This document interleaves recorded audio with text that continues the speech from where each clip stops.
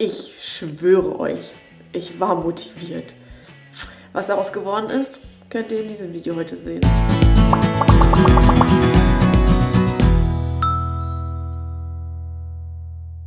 Hallo und herzlich willkommen, meine Lieben, zu einem neuen Video von mir. Und diesmal, hätte es wohl gedacht, gibt es den Lesemonat April 2016.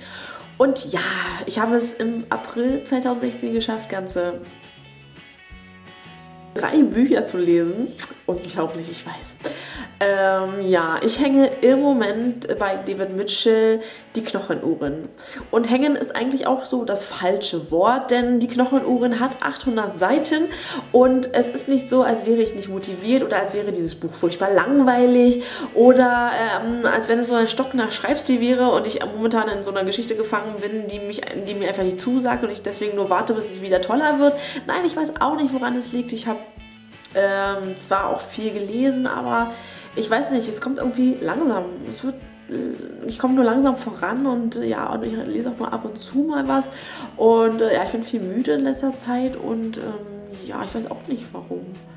Keine Ahnung. Jedenfalls sind es dann also nur drei Bücher geworden. Das erste, was ich diesen Monat fertig gelesen habe, ist das Buch von Eve Chase, Black Rabbit Hall. Black Rabbit Hall ist erschienen im Blauerlee Verlag als Hardcover, weiß ich gerade nicht, so um die 20 Euro wahrscheinlich. Und ähm, ja, ihr seht das hier, das hat so einen Schutzumschlag. Ähm, darunter ist das komplett so grün, ja, mit Bäumen und Herrenhaus und so. Und ja, Black Rabbit Hall. Da geht es, äh, werden zwei Zeitlinien erzählt. Einmal äh, die Zeitlinie von Lorna, die ist verlobt und fährt mit ihrem Verlobten so eben äh, so, ja, Häuser, Herrenhäuser ab, weil sie sich in den Kopf gesetzt hat, gern in so einem tollen alten Herrenhaus zu heiraten. Und ja, die fahren jetzt verschiedene Locations ab, der Verlobte ist schon mega genervt. Und ähm, sie kommen dann zum Schluss äh, zu Black Rabbit Hall und Lorna ist sofort verliebt in dieses Anwesen. Die, ähm, ja, die Bewohnerin, die Herrin des Hauses ist ein bisschen seltsam, aber die ähm, ja, Bedienstete ist ganz nett. Und ähm, ja, aber ihr Verlobter hat schon ein komisches Gefühl und dann stürzt auf einmal auch Lornas Vergangenheit äh, ein. Und eben diese Vergangenheit wird in einem zweiten Zeitstrang äh, beschrieben. Wir befinden uns dort, glaube ich, so, ja, sagen wir mal 30 Jahre äh, zurück. Ähm, es lebt eine Familie auf Black Rabbit Hall, Vater, Mutter und drei Kinder, nee, vier Kinder sind es, genau. Und ähm, ja, sie leben dort ihr Leben und ihr, verbringen dort ihre Sommer und ihre Freizeit. Eigentlich leben sie in London. Und ähm, einem diesem, ja, zu Ostern passierte etwas, äh, was diese ganze Familie auseinander wirft, durcheinander wirft und die versuchen irgendwie damit klarzukommen. Und dann passieren eben noch mehr, mehr Sachen, ähm, die sich immer so weiter aufeinander aufbauen und die natürlich eine gewisse Dramaturgie haben und ähm, die natürlich dann mit dem zweiten Erzählstrang, wer hätte es so wohl gedacht, verknüpft werden. Aber wie, das werde ich euch natürlich nicht verraten verraten. Das ist ein sehr schönes Buch, es ist ein, ähm, ja, eine Familiengeschichte, eine Familiensaga. Ähm, ja, es liest sich sehr, sehr gut, es hat mir sehr gut gefallen. Es, ähm, war, ich war komplett in dieser Geschichte drin. Ja, an diesem Cornwall spielt es, glaube ich. Ähm, und ja, es hatte, es hatte diese Atmosphäre. Man war, man war in diesem Herrenhaus, da grenzt auf der einen Seite eben ein Wald und auf der anderen Seite ist das Meer mit der Küste. Und es ist sehr, sehr schön zu lesen und auch die Geschichte und die Verbindung erstmal der Geschwister und dann später zwischen Lorna und ihrem Verlobten. Und ähm, ja, hat mir sehr, sehr gut gefallen. Als nächstes habe ich dann gelesen von Boff Bjerg Auerhaus. Erschienen ist das Ganze hier im Blumenbach Verlag, weiß ich jetzt auch. Und es geht nicht um Jugendliche, also es geht schon um Jugendliche, die in einer Kommune wohnen, aber die haben sich nicht alle versucht selber umzubringen, sondern nur einer von ihnen hat sich versucht umzubringen. Und ähm, ja, da die gängigen Methoden, also Psychiatrie und Therapie und so nichts gebracht haben, beschließen äh, seine Freunde eben mit ihm zusammen in ein äh, leerstehendes Haus zu ziehen und dort ja quasi ähm, eine Kommune zu bilden, eine Gemeinschaft und ihr Leben eben versuchen selber auf die Reihe zu kriegen, sind alle gerade in ihrer Abiturphase, schreiben gerade ihre Prüfungen und äh, müssen jetzt nebenbei zum ersten Mal in ihrem Leben sind sie selbstständig und versuchen eben ähm, ja irgendwie doch mit dem Leben klarzukommen und zu versuchen, warum sich ihr Freund äh, umgebracht hat und auch ein bisschen auf ihn aufzupassen, damit es nicht wieder passiert. Und so werden hier die Leben äh, beschrieben, äh, jugendliche Leben am Ende ihrer Schulzeit quasi an der Schwelle zu dem, was äh, danach kommt, was ja für viele noch ein Mysterium ist. Einige von ihnen haben natürlich feste Pläne, wie es auch im Leben so ist, und die anderen schweben noch irgendwo zwischen Ja, Nein und vielleicht und Ängsten und die die Jugendlichen eben haben und wie sie damit versuchen klarzukommen, eben auf ihre ganz unterschiedliche Art und Weise wird in diesem Buch beschrieben. Ich habe ja schon erwähnt, dass das im literarischen Quartett,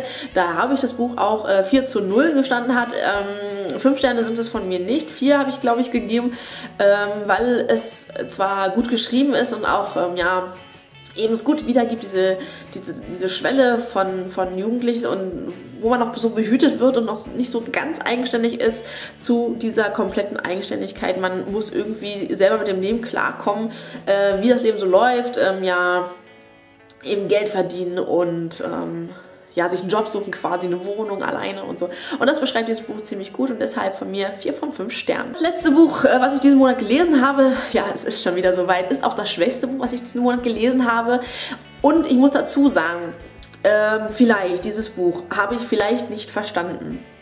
Ähm, es könnte sein, dass wenn sich jemand so mit Politik auskennt oder so mit den gesellschaftlichen Geflogenheiten in, ähm, in Tschechien und so, dann könnte äh, das vielleicht was gewesen sein. Ja, und äh, vielleicht habe ich das Buch auch gar nicht verstanden und ähm, bin da nicht so in der Historie oder ähm, es wurde im Internet auch gesagt, also ich habe nochmal hab noch gegoogelt und versucht das Buch zu verstehen, ähm, dass der Autor noch mehr äh, Bücher geschrieben hat und die alle irgendwie verschiedene Thematiken aufgreifen, die aber irgendwie aufeinander aufbauen und das soll auch eins davon sein und äh, ja, ich habe es jedenfalls noch nicht so gut verstanden. Ähm, Warte mal kurz. Jedenfalls geht es um Ein Niemand von Daniel Gütsch.